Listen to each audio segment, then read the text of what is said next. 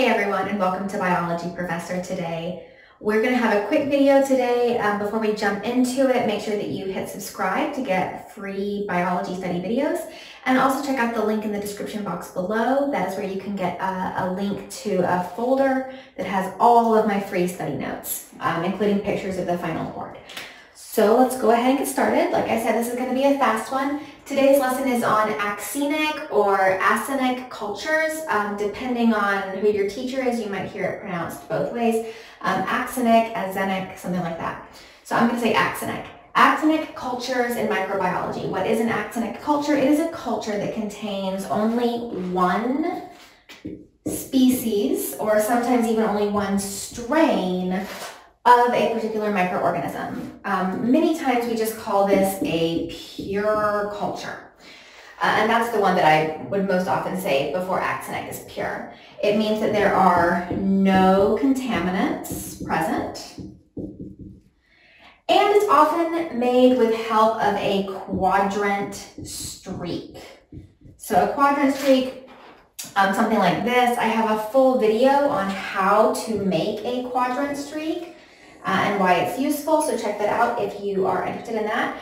And axenic cultures, they also facilitate study of, of whatever the microbe is. So for example, if you are familiar with Koch's postulates, um, I do have a video on Koch's postulates if you want to know what that is, but it relies on having to take some sort of microbe out of a sick uh, individual, grow it in pure culture, an axenic culture, inoculate it into a new host to see if it causes the same disease um, and a lot more information in that video on Koch's postulates.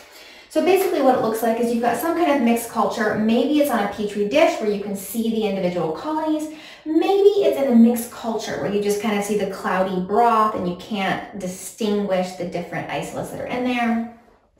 But the goal is to get an axenic or pure culture where there's only one species growing on a plate.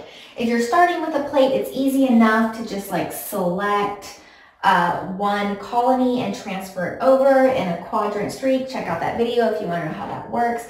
If you have a mixed culture, you really have to get it onto a plate where you can see all the different types of colonies that are present, um, each type of colony uh, being for different isolates, right, different species.